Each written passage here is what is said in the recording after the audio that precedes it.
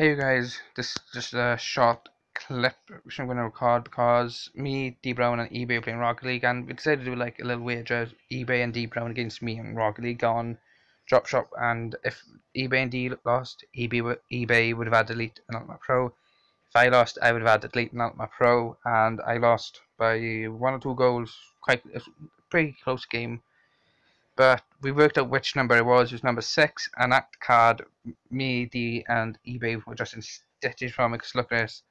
As you may know if you've watched that video, eBay had to delete uh, Ultimate Chris Jericho for me. One, Joe. Two, AJ. Three, AJ. Oh, who's it going to be? Four, Rollins. Happy with that, because that me, because Rollins is one of my pro I do not want to get rid of. Fifth is Naka. Who's going to be the sixth? I wonder who's going to be the sixth. It is Chris Jericho, me, eBay, and D Brown were in stitches laughing from this because just how rigged it is.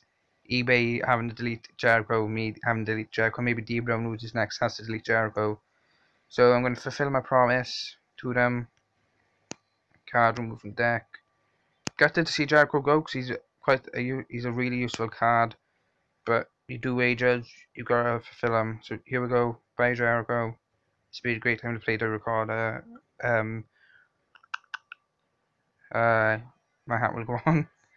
So yeah, here we go. Bye, Jericho. See you later. I know I'll make less for this, but bye. Go. Jericho's deleted. I'll fill my decks now without I am now without Jericho. My worst card in my deck is the Bobby Roode the glorious. Not Phyllis, my worst. There's Xavier Woods and sort of Phillies. So yeah. And money in the bank, for you. So there we go. So that's gonna be it. Guys, just wanted to record that short clip. Peace out.